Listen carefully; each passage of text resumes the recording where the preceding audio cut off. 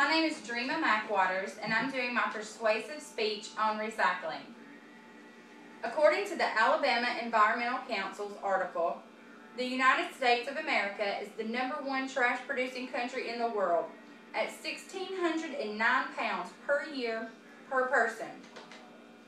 In 2011, the Alabama Department of Environmental Management determined that Alabama spent 25 million to throw away over 193 million worth of recyclable material.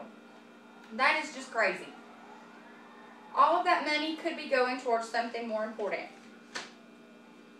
Come on, America, it's time that we wake up, stop making excuses, start caring, and start recycling.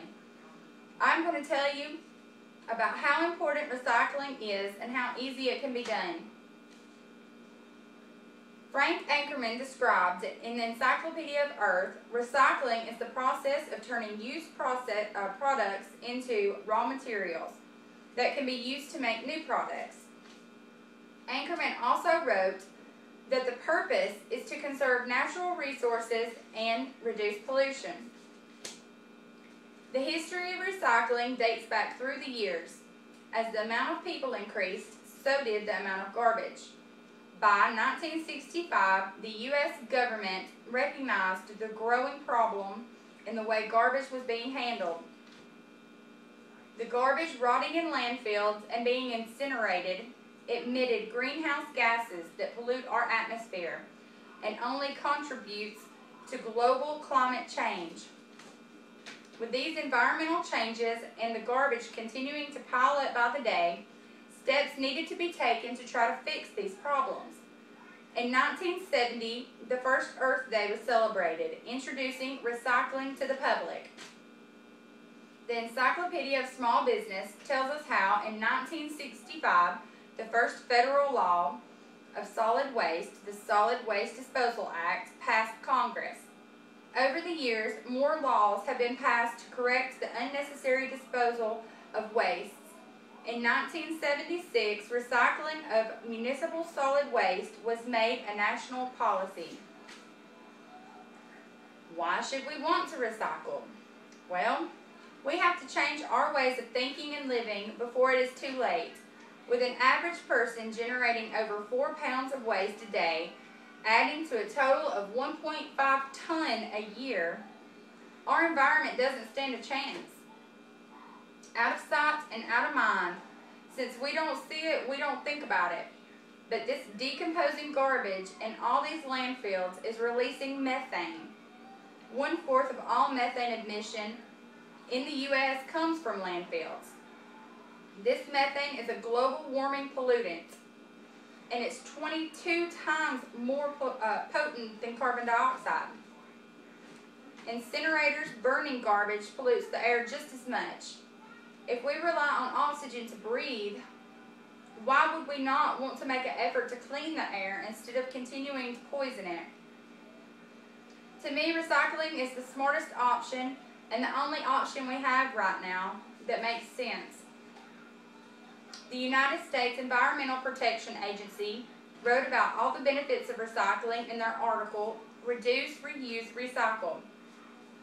Recycling reduces the amount of waste sent to landfills and incinerators. It conserves natural resources such as timber, water, and minerals, prevents pollution, and saves energy by reducing the need to collect raw material. It reduces greenhouse gas emissions that contribute to global climate change, and it helps sustain the environment for future generations also creating jobs in recycling and manufacturing industries in the U.S. The United States Environmental Protection Agency wrote about several methods for collecting recyclables, including curbside collection, drop-off centers, and deposits or refund programs. Recyclables are sent to a recovery facility to be sorted, cleaned, and processed into materials that can be used in manufacturing. It takes little effort. Instead of throwing your trash in a can that goes to the landfill, how about trying to throw it in a can that goes to a recycling facility? More and more products are being manufactured with recyclable contents. A lot of the items you have in your own home have recyclable content in them. Newspapers, paper towels, glass Coke bottles, and even laundry detergent bottles all have these materials. With all of the positive benefits of recycling, why would you not want to be involved? Things that we can do to help the environment. The National Resource Defense Council stated on their website that paper, plastic, glass, and cans are not the only items that should be diverted from the incinerators and landfills. Reduce the environmental impact of organic waste by composting food scraps and by leaving short grass clippings on lawns to decompose. Donate old clothing to homeless shelters and other community organizations.